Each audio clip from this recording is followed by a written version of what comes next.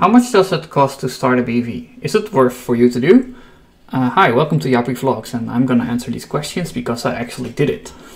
As you can see, like the total cost of a BV is 11,000 euros approximately. These are actually all costs I got already, and these two will happen in the future. So it turns out that like the advice part is probably like the most domineering of it all, but it's more than just uh, figuring out what structure fits my situation. Uh, it's also making sure that there are contracts that will help you deal with the tax service. Because he told me that actually there are situations where the tax service will reject your proposal become a BV, and then you know they may make an example out of you. They want to like make like a point. And he, he told me about like having a disagreement with the tax service, and he had to actually go to court and like get a judge involved, and eventually just fight the tax service to make sure that uh, his structure got through. So I, I think you're also kind of paying for this support um, if that were to occur. I mean, yeah, like if you want to do this, then you probably should get a tax advisor as well, which is going to cost around uh, 4.8 thousand euros. Uh, and then, you know, the next cost you have to do uh, a notary. So this is just to get all your documents ready, to, uh, you know, make it official.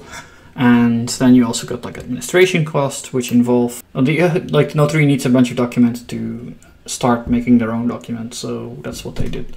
I think you can do this yourself. Yeah, unlike the tax advisor, this is probably stuff you can do yourself. Aside of it being boring, I'm just also not good at it. So they do a much better job than I. So I think it's worth it, you know, like focus on stuff that I think are fun and that actually make me more money, you know. and then you got the Chamber of Commerce stuff. So this is like the registration part. So you also have to pay this because, you know, like there's no way around it essentially.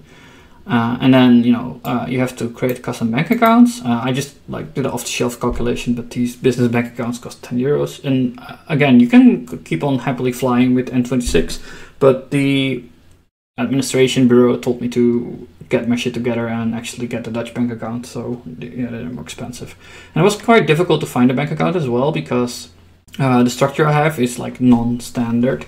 Uh, and that makes them kind of wary. So you have to go to the big banks like ING or Rabo. And then finally, there's like the end of year administration cost, and they, they, they give me a ballpark estimate of how much this would be, but it's it's going to be around 2,500. And what's happening here is there is like you know three separate balance sheets being made, three separate income and expense statements, because you know we got the so Jappie Software, which is the working company, then we got the holding company, and then you know we got this other thing which is also required to get more tax advantages. So yeah, I'm paying a little bit for that. Uh, and yeah, this kind of administration, I, I, definitely think you can't do on your own. Uh, it's just too complicated. yeah, so I want to go back to the comparison because yeah, I forgot to take into account the upstart costs of a BV previously, so I'm just gonna like put it into here now. And then finally, I also um, added a column of what actually happened. So I couldn't start a BV on January anymore. I was too late. Administration office in like April, and I was essentially too too late to make the the January deadline. So this is you know this like little joke has cost me around three thousand euros in net income, which is a shame, but yeah gotta be on time, you know. I'm Better late than never, I guess. Yeah, so uh, I have to pay way more. Uh, a larger portion of this is become becoming like income. Uh, that's fine. And then, yeah, so that's 22. Uh, I have to pay this. I know for a fact it's gonna be around that number because they gave me an estimate. So yeah, they're doing it better than I do. So I'm just using their estimate. And you know, this is our this is like mostly observation observation based, so we know this is correct.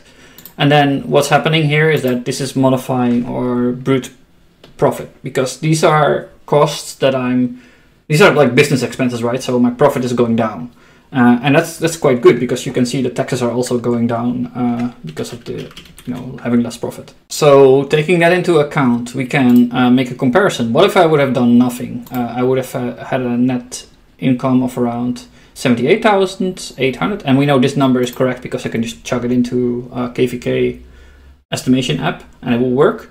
Uh, and we know this number is mostly correct because the most difficult part is done for me and all the other stuff is just like calculations.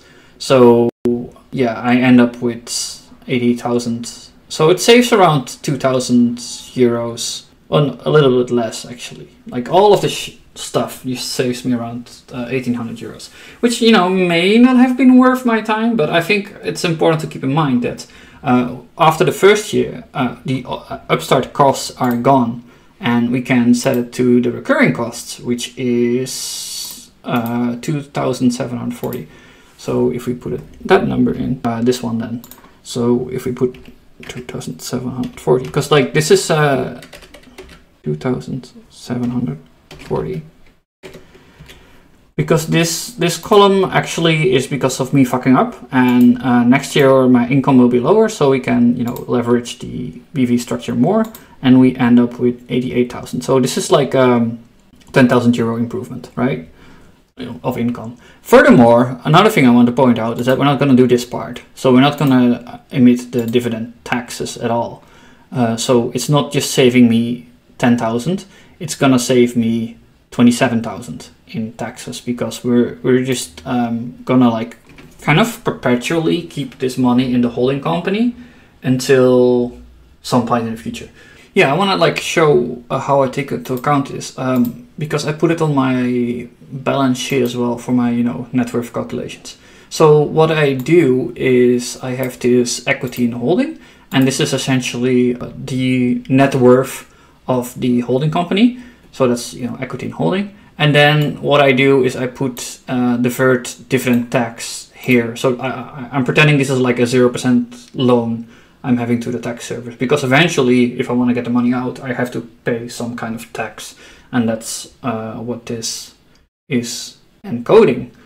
Uh, and you can see it's already higher than I have in uh, my estimations because all right, I brought in I brought in my brokerage account, and I'm not actually sure. I I hope that it would lower my income tax, but I think I kind of failed with that. So it was probably a bit of a mistake. But you know, if the Russian shares go to zero, then I may save a little bit on this profit tax. I don't think the Russian shares are going to zero though, so we'll see what happens. But if that happens, I, I'd be quite happy um, that I did this.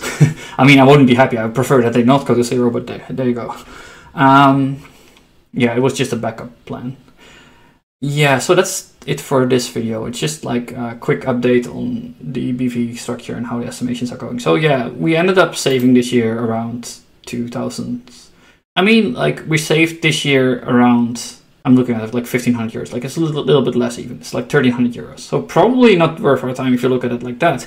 But we're not going to pay this tax. So uh, we actually have a lot more money available to do things with in our business because we're going to keep it in our business.